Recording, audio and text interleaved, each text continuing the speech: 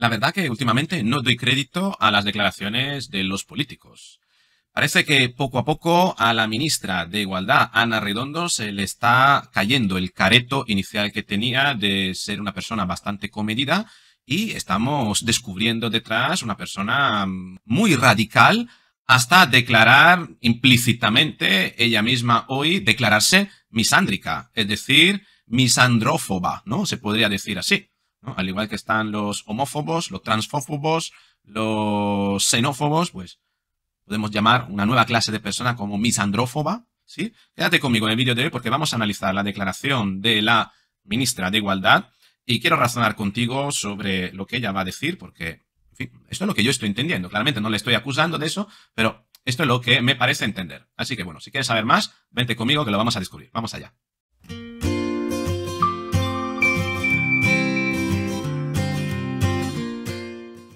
Así es, es un vídeo cortito. Vamos a reaccionar a la, la, declaración de la ministra de Igualdad, que repito, yo la interpretaría como que implícitamente está diciendo que es misándrica o misandrófoba. ¿eh? Fíjate lo que dijo. Ministra, quería preguntarle qué le parece acerca de que la, mitad de los asesinatos que hemos conocido de este año, en lo que llevamos de año mujeres, han sido perpetrados por extranjeros. ¿Qué le parece esa cifra según el INE, el 49%?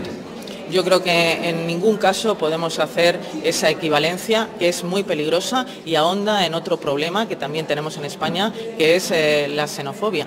Y por lo tanto, yo creo que no hay que incorporar problemas, ya tenemos bastantes y hay que analizarlos convenientemente, ser muy rigurosos. Y el problema del machismo es un problema global. El patriarcado es la primera globalización. Llevamos viviendo en esta cultura machista global eh, durante muchos miles de años.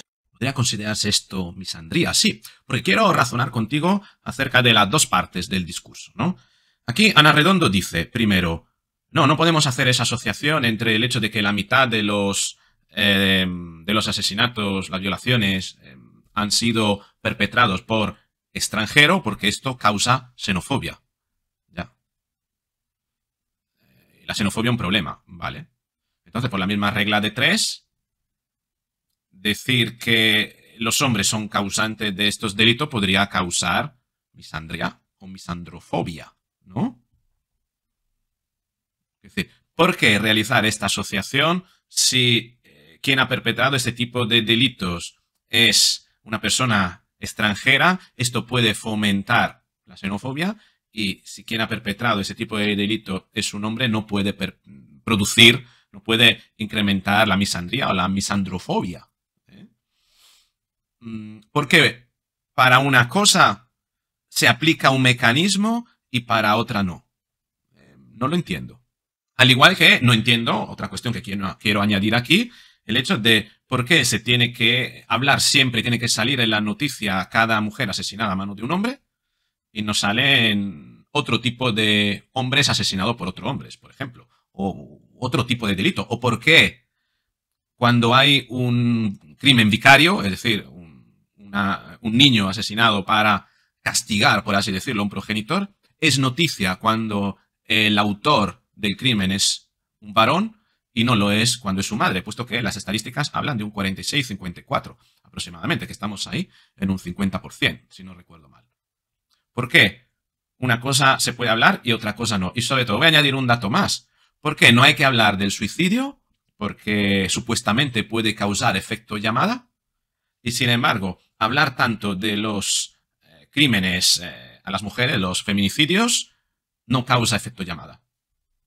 ¿En base a qué? Utilizamos un criterio para un término y no lo utilizamos para el otro. ¿En base a qué? Utilizamos, nos negamos a la posibilidad de asociar eh, los delitos sexuales a los extranjeros, siendo la mitad de ello perpetrado por extranjero, porque causan xenofobia, pero sí asociamos los delitos a los hombres porque solo nos hacemos eco de los delitos cuando lo cumplen los hombres sobre las mujeres y esto no causa misandría. ¿Por qué no se puede hablar de suicidio, ya que esto puede causar efecto llamada? ¿Y por qué el hecho de hablar tanto, estar tan presente en los telediarios, el tema de la violencia de género, no puede causar también, o puede estar causando también un efecto llamada? ¿Por qué datos científicos que indican que una cosa sí, una cosa no? O estamos hablando más bien de ideología?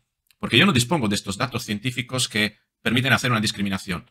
Y si existieran de existir, pues me gustaría que me ayudaras a encontrarlos. Si sabes algo al respecto, pues eh, escríbeme, pásame algún enlace, algún paper con el que pueda contrastar mi impresión. Pero porque eh, te estaba diciendo al principio del vídeo que concluyo que estas declaraciones de Ana Redondo son declaraciones que eh, fomentan la misandrofobia o la misandría. La, misandrofobia no existe, pero lo utilizo ese término para que nos ayude a, a entenderlo parecido a lo que puede ser la seno o puede ser la eh, la trans, etcétera, ¿no? Porque mira, si en el fondo ella dice que mm, hablar de eh, eh, los autores, ¿no? De determinados delitos porque tienen una cierta condición, esto causa una fobia, pues entonces esa fobia sucedería también a la hora de hablar de todos los delitos generalizados donde el autor sea un hombre, ¿no? Entonces, creo que utilizando el mismo razonamiento que aplica Ana Redondo aquí, estaríamos ante una persona claramente, visiblemente misándrica, ¿no? Más aún si añadimos la segunda parte del, discurso, donde, donde dice que eh, la primera globalización es el patriarcado, porque el patriarcado lleva, que dijo reinando, ¿no? Pues eh, miles de años, ¿no? Mm, no sé, como si hubiera una conspiración mundial, ¿no? De los hombres que se hubieran organizado entre sí para que en todas las culturas fueran los hombres los que, eh, digamos, mandaran o, organizaran la vida pública o la política, ¿no? Yo creo que precisamente es lo contrario. La ciencia y la antropología nos lo dice. Que em, eso, mira, eso es como negar la biología, de verdad. Los hombres y las mujeres somos diferentes, genéticamente diferentes. Podemos tener derechos iguales, vale, pero biológicamente nacemos diferentes. Y tenemos programas y software y una biología que nos predispone a poder desempeñar determinadas funciones y ser más, y con más probabilidad ser eficaces en determinados campos o en otros. Los hombres no somos eficaces en parir, obviamente, ¿no? Las mujeres sí, los hombres podemos ser eficaces en otras cuestiones.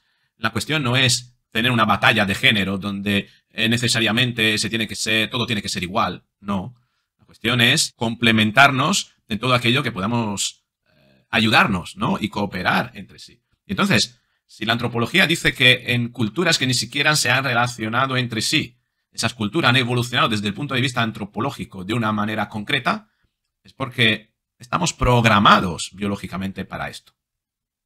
Otra cosa que dentro de nuestra civilización hay determinados programas biológicos de los que a lo mejor podemos prescindir en pro de una nueva arquitectura social. Pero esto no debe por qué eh, arrogarnos el derecho a negar la evidencia biológica. El negacionismo mata, decía la ministra. Yo creo que la ministra lo que está mostrando es precisamente ese negacionismo biológico que hace que hombres y mujeres sean diferentes y que dentro de esas diferencias, los hombres a nivel cultural, en las distintas civilizaciones, incluso en culturas que no se han relacionado entre sí, han evolucionado hombres y mujeres prácticamente de la misma manera. Pero esto no significa que haya como una conspiración mundial o haya habido una conspiración mundial entre los hombres para que esto hubiese sido así en todas las culturas, como es la globalización. Porque la globalización es un fenómeno organizado, es un fenómeno que no es espontáneo. Pero sí que lo que habla la ministra es algo espontáneo que ha sucedido de manera desconexa en todas las distintas, eh, creo en todas, no lo sé, habrá alguna sociedad quizás más matriarcal, Seguramente la hay, desde luego. Pero bueno, me gustaría saber qué es lo que opinas tú y si al final extraes tú las mismas conclusiones de que la ministra se está declarando misándrica o misandrófoba. Pero bueno, escríbeme en los comentarios, quiero saber qué es lo que opinas. Si te ha gustado el vídeo, te invito a que le des a like. Si crees que puede ayudar o interesar a otras personas que lo compartas, suscríbete, activa las campanitas y así nos veremos en el próximo vídeo. Un beso.